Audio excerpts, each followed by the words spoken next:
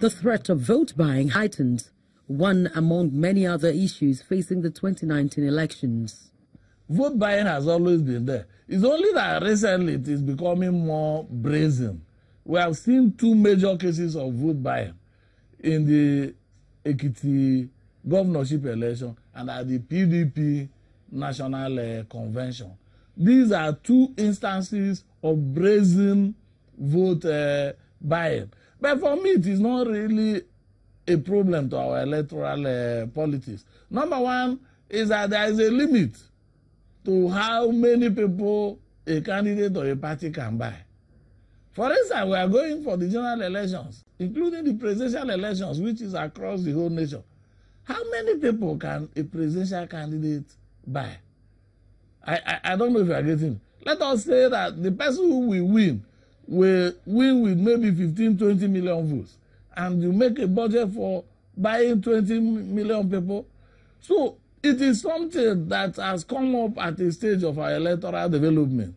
And I feel that it is something that eventually will uh, outgrow. Uh, you know, if we keep talking about it so much, we'll be bringing legitimacy crisis to our elections. But I, I don't think it, it has that potential of, uh, of uh, destroying our electoral uh, politics. It is something that has come up and it is something that will eventually uh, fizzle out.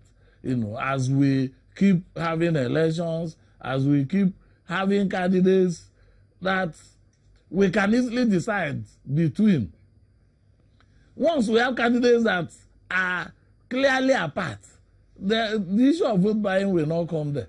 Most times it comes when the candidates are similar, when the candidates are running neck to neck, and it is that extra money that will now make the difference. But in situations where candidates are poles apart, in situations where parties are poles apart, I mean, there is a limit to how many votes you can buy, and which means that over time, these things will disappear. At a forum with representatives of political parties, the INEC chairman talks tough against vote buying. We are right now working with the security agencies. We shall arrest, we shall prosecute, and make public show of how not to behave in a democracy.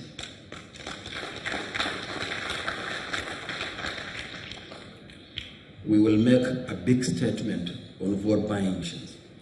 And when the time comes, don't say you are not forewarned. You are forewarned. Whoever is involved, we are going to make a very powerful statement. We can't carry this menace into the 2019 general election. Changing the mindset of the people, therefore, becomes imperative as the choices made at the 2019 election would no doubt remain with them for another four years. Apparently clear it is that there is no ideological trace to any of the major political parties or the minor political parties that we have in Nigeria. Whether that is a plus or minus can be debated. But once you don't have ideology, you cannot tell Nigerians to look out for anything. Again, let's go back to the United States. That's the closest example that we have is the most open of all the democracies that we can read about and talk about. And it is senior when it comes to the practice of democracy. You will always know that whoever becomes president in the United States under um, the Conservative Party will always pursue a particular agenda. Gun sale must not stop aggression towards war, um, very low, if not zero tolerance for absolutely free and happy-go-lucky activities such as abortion, such as gay practices and all this. The ideas are there. So whoever becomes the president, we just key into that idea. He's not going to say he wants to go the Democrat way. Okay? And then the Democrats too will always come out in the same position. That's what we're talking about. But here, okay, the parties don't have this is our tradition, this is what we always do. So even if a fool becomes our presidential bearer, flag bearer tomorrow, he will still key into this structure. We don't have that in Nigeria. However, it could be our own style of democracy because I don't believe every democracy must flow the American way.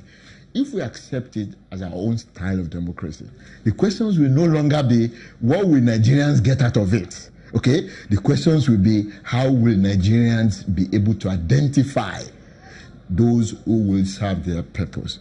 Then I will say the only way is to look at their pedigree.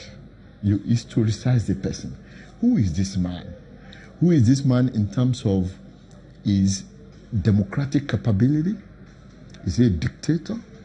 Is he a dictator? Is he corrupt?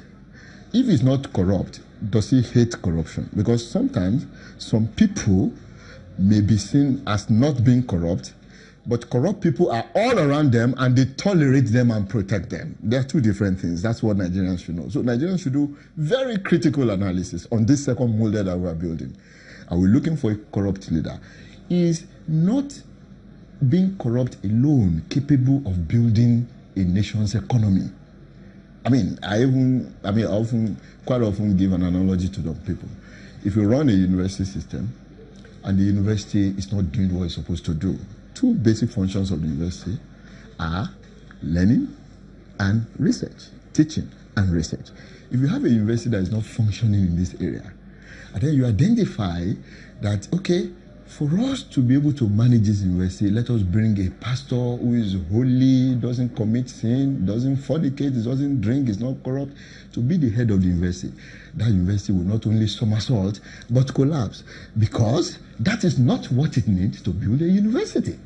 You need somebody who is focused in research and learning, even if he's corrupt. The system we check the person. I think these are the factors Nigerians must begin to look at. Beyond the person, you must ask certain critical questions. It is not enough to say, this man is this, this man is that, and based on that, you hand over a nation to the man. It may somehow sort. I don't want to be partisan, and you can see I'm very careful, and that's why I'm doing this analysis. A cross section of electorates on the streets make their demands before the 2019 election. You please help us eradicate poverty. The level of poverty in this country is high, so economically it needs to create more jobs. Many of us are graduates, there's no job, there's nothing. So we need a president who will help us economically grow the economy of the country, create more jobs opportunity for the youth. Um, I would like a president that will see to the affairs of the citizens making life pleasurable and easier for the citizens of Nigeria. So we are praying to God to lead us in choosing the right person. Everything needs attention in Nigeria. Talking about education, health, anything. There are a lot of youth in the country without employment. The people that are well read, they are all over the places without any job. So everything should be addressed. Everything about Nigeria needs being addressed. I want a president who will move the who will continue to move the nation forward, that every citizen will enjoy, socially, politically, and that everything that God has endured uh, endured to, to us.